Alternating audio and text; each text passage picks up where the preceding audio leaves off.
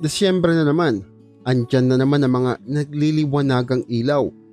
Ang mga nakasabit sa dingding ng mga bahay, pagandahan ng Christmas lights at alakihan ng mga parol na nakasabit.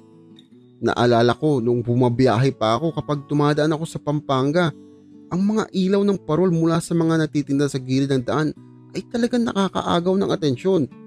Ang gaganda ng mga kulay nila.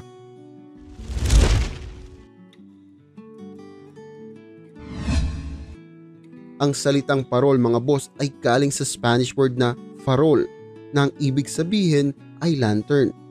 Tinatawag din itong paritaan.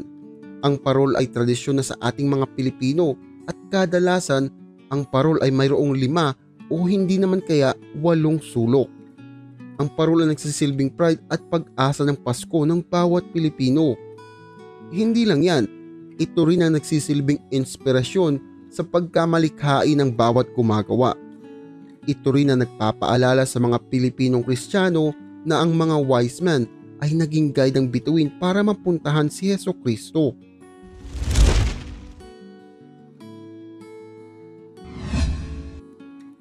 Kung titignan ninyo ang parol, wala ba kayong naaalala?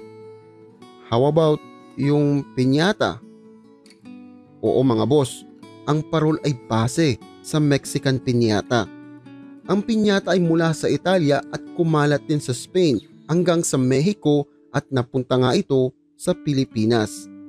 Noong Spanish times, ang parol ay hindi lang isang dekorasyon. Kinagawa ito para maging lampara para magsilbing gabay sa mga taong pupunta sa simbahan nang wala pang liwanag ng araw para magmisa. May mga kwento na noong Spanish era pa lang ang mga Filipino ay gumagawa ng parol at nilalagyan ito ng kandila. O hindi naman kaya mga lampara at inilalakad ang mga ito sa bayan para ipakita ang kanilang gawa. Bawat taon pagandahan ng gawa. Hanggang sa narinig ng mga Espanyol na pari ang gawain ng mga Pinoy at sila din mismo ay nagbigay ng pabuya kung sino ang pinakamagandang parol na magagawa. At dito nga nagsimula ang ugnayan ng parol sa Pasko pinaniniwalaan na isa itong alay sa mahal na Panginoon.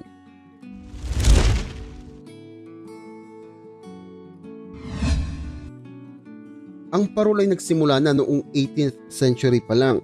Ginamit ito sa procession para i-honor ang Our Lady of La Naval sa Bacolor, San Fernando. Noong 1908, si Francisco Stanislao ang kauna-unahang gumawa ng parol na hugis bituin Ginamit niya ang parehong materyales na nakasanayan na. Ginamit niya ang kawayan, pel de hapon at kandila. Ang star shape ang nakilala dahil ito ang nagsisimbolo ng bituin na naging kapay ng mga wise men. Pero kung titignan ninyo ngayon, halos ang dami ng parol. Iba't ibang laki, iba't ibang hugis. Ang dahilan dito mga boss ay kompetisyon. Sa Pampanga, paagandahan at palakihan ng mga nagagawang parol kaya naman sa ngayon, iba't iba ang ating nakikitang design.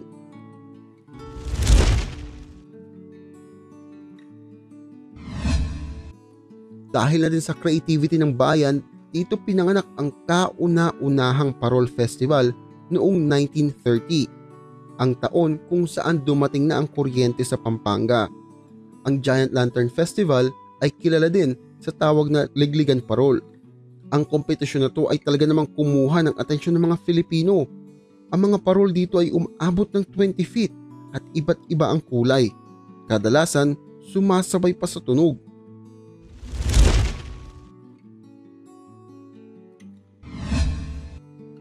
Para sa atin, ang parol ay isang simbolo ng Pasko. Pero para sa mga parol makers, ito ay simbolo ng pag-asa. Sa katunayan, nagsisimulang gumawa ng parol ang mga iba ng June pa lang at ibinibenta nila ito pagdating ng October. Ang mga iba makikita mo sa mall, sa daanan o hindi naman kaya naglalakad bit bit bit bit ng isang mama. Alam nyo ba na ang parol na gawa ng ating kapwa Filipino ay ini-export din? Oo mga boss, dahil na din sa intricate designs ng mga ito, ang ibang mga parol ay ini-export. Kadalasan, ito yung mga gawa sa Capiz shells.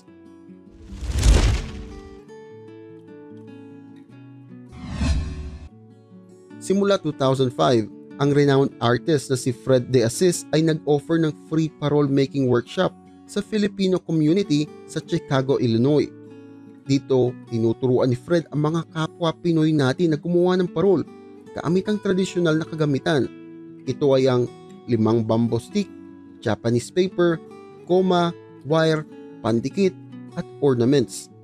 Sa San Francisco at Los Angeles, California naman ay ipinagdiriwang ang annual Parol Festival tuwing Disyembre. Sa Canada, sinasabit ang mga parol sa mga party halls habang Christmas party para alalahanin ang tradisyonal na gamit ng parol.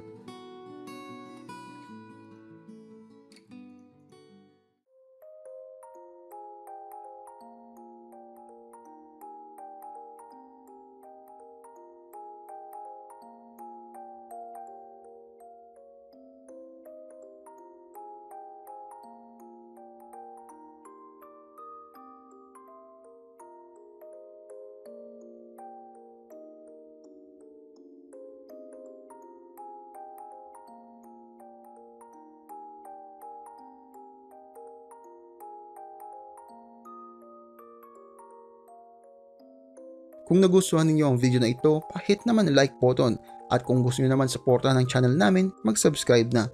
Hindi nyo lang kami sinuportahan, lagi pa kayo updated sa mga bagong videos namin. Salamat mga boss, Pula Lord out.